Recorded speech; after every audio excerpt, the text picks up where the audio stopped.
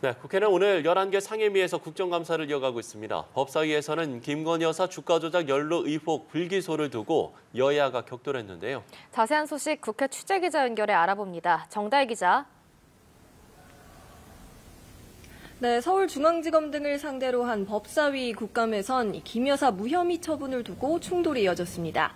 민주당은 검찰이 준전마마를 보호하는 신하로 온갖 쓰레기를 치워주는 해결사로 전락했다고 맹공했습니다.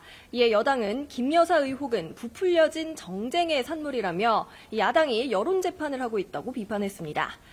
네, 어제 검찰은 코바나 컨텐츠 사건과 주가 조작 연루 의혹을 함께 수사했고 압수영장을 함께 청구하기도 했다고 발표했는데요.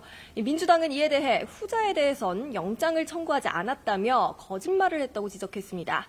이에 이창수 중앙지검장은 영장 청구는 코바나 컨텐츠 관련으로 알고 있다며 거짓말까지는 아니라고 밝혔습니다. 네, 여당 내에서도 김 여사 관련 논란은 커지는 분위기군요. 네, 윤석열 대통령과 한동훈 대표는 다음 주 월요일 회동을 가질 것으로 알려졌습니다. 식사 없이 차담 형식으로 진행될 걸로 전해지는데요. 이를 앞두고 한 대표는 김 여사와 대통령실을 향한 압박 수위를 높여왔습니다. 대통령실 인적 쇄신, 여사의 대외 활동 중단, 또 의혹 규명을 위한 적극적인 협조 세 가지를 요구하고 나섰는데요. 대통령실은 이에 별도 공식 입장을 내진 않았지만 내부적으로 불편한 기류가 엿보입니다. 독대 유무와 의제 등을 두고 신경전도 벌어진 걸로 전해집니다. 관련해서 당내에선 개파 간 대립이 격화하는 모습입니다. 친한계는 김 여사 특검을 막을 명분이 필요하다며 대통령실이 한 대표의 요구에 화답해야 한다 주장하고 있고요.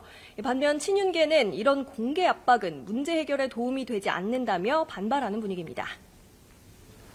네, 한편 야당은 여사 의혹을 두고 파장 공세를 펴고 있죠.